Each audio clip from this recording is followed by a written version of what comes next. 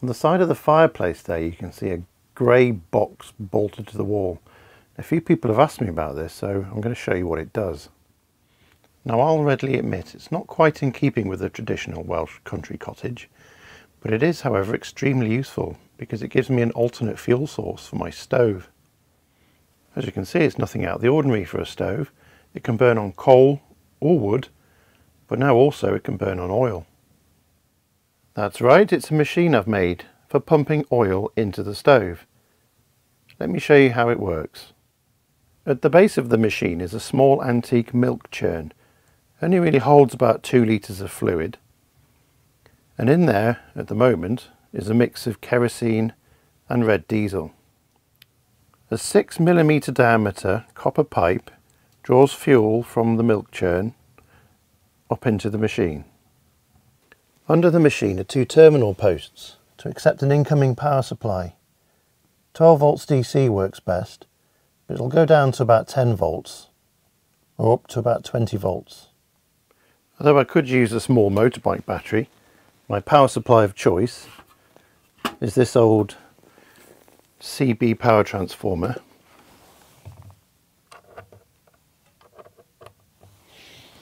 It's quiet and reliable.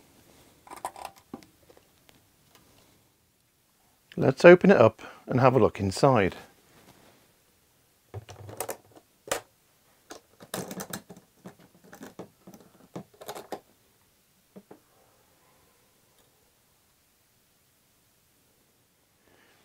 As you can see it's super simple. The fuel is drawn up through the pipe at the bottom via this electric pump here and is then pushed up the pipe here which goes off to the stove. This particular pump is not like a normal fuel pump that you apply power to and then it just continuously uh, moves fuel through.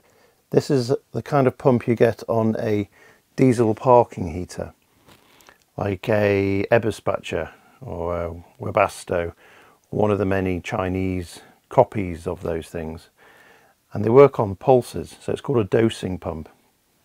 So every time a pulse of current runs down the wire in either polarity, the pump will send a predetermined amount of fuel up the line. It's only really a few raindrops worth. So the more often the pump receives an electrical pulse, the more fuel gets delivered to the stove. If you can see this black plastic box here, inside is a little motor and gearbox combination that looks identical to this spare one I've got here.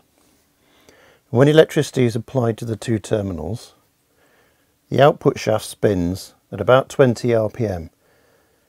That means it takes approximately three seconds for the output shaft to do a full rotation.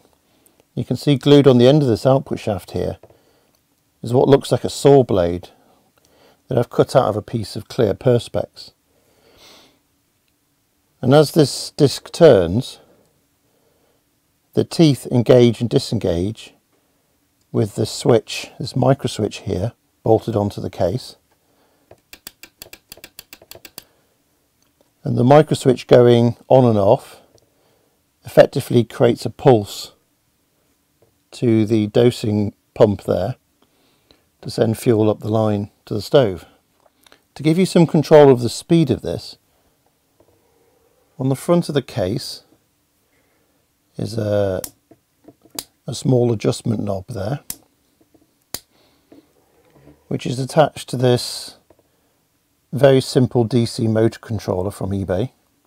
So you provide constant DC voltage to two of the terminals and out of here comes a control voltage, control current to the motor inside the box.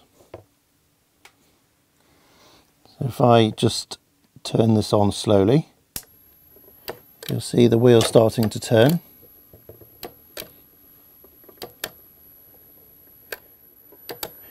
But the further round I turn the wheel, the faster it goes.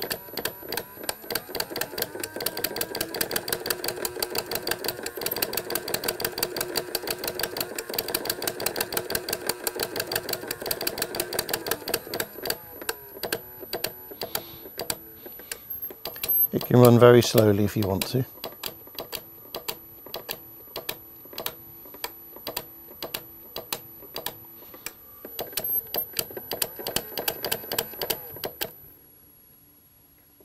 Or it can be stopped altogether. You'll notice inside there's some of this blue camping mat. This is really just for a bit of sound deadening because the, the pump and my timer mechanism is a little bit noisy. Over at the stove you can see the pipe running to the top. I just move this kettle. Very simply it just runs to a small hole on the top and goes through the top of the casing.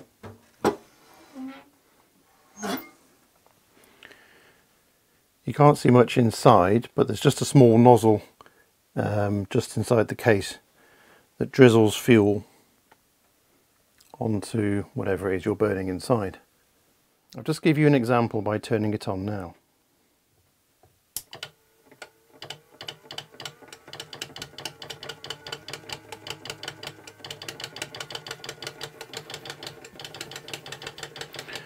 As you can see it instantly bursts into flames.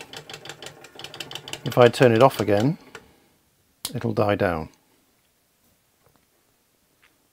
So I can therefore control the amount of oil quite successfully that's coming into the stove.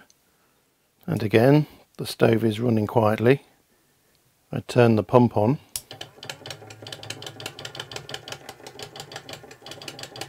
The flames liven up. So why would you even want such a thing?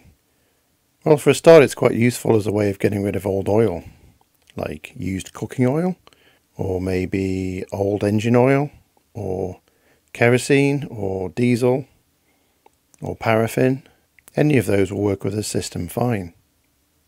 Because the stove hasn't been modified to be exclusively an oil burner, I can still have a nice wood fire or a coal fire in the evening if I want, or I can use the oil instead, or as well as. When the pump is active and it's drizzling fuel onto the hot coals, or the burning wood, I tend to find that the solid fuel itself burns much more slowly and most of the heat comes from the oil burning on top. This way I can have a hearty fire burning all day on a base of just a few pieces of heartwood with no topping up required. A very popular type of design for burning oil on a stove is to have a tank placed above the stove and for the fuel to drip down through a pipe under gravity. Such a system is obviously much simpler and requires no electricity and is also totally silent in operation. But I've opted for a fuel pump based system because I like the precise electronic control and also it removes the risk of any kind of runaway situation with fuel pouring uncontrollably into the fire. The disadvantage of a system like this is firstly it does make a ticking noise, although no louder than a grandfather clock, and secondly it does require a power supply. Well, I hope this video has been interesting to you and perhaps provided you with some inspiration. Do please consider pressing the like button and subscribing to my channel. It's a great encouragement for making more videos. Speaking of which, I hope to see you in the next one soon. Bye bye.